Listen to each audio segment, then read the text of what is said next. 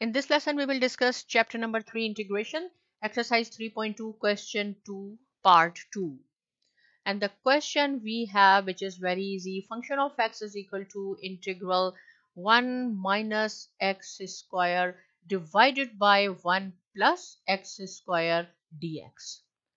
So see here we have 1 minus x square divided by 1 plus x square we have the same variable and same exponent. If we have the same variable in the numerator and the same variable denominator with the same exponent or same power, we have to reduce the power of the numerator.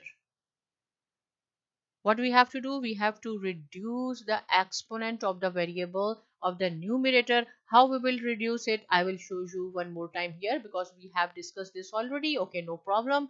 So 1 minus x square, the dividend you have to write down as a dividend and then denominator 1 plus x square is the divisor. You have to divide 1 minus x square by 1 plus x square means numerator by denominator with respect to x.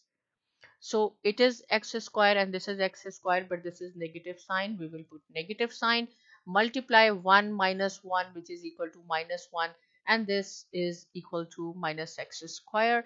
We will change the sign. This will cancel out. It is plus 2 so now we have 1 negative 1 plus we have to start from here. Negative 1 2 and then divided by 1 plus x square dx now our question is so simple right? So what we have to do individually we have to do this integration to because we have two terms constant this is negative 1 if you want to write down negative 1 it's up to you because 1 does not make any difference. Here 2 is constant we will write down outside the integral sign. We have 1 plus x square dx. So dx the integration of dx is x but we have negative so negative x plus 2 and here is the formula. Rise integral 1 over 1 plus x square. How we will integrate it? It is equal to tangent inverse of the variable.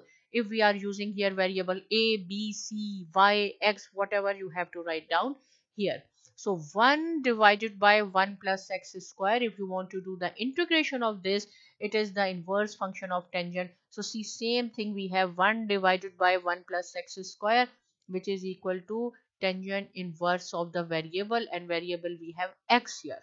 If it is 1 divided by 1 plus y square then we have to write down y right and constant of integration and this is our answer so simple if still any point is not clear, please ask me and thanks for watching.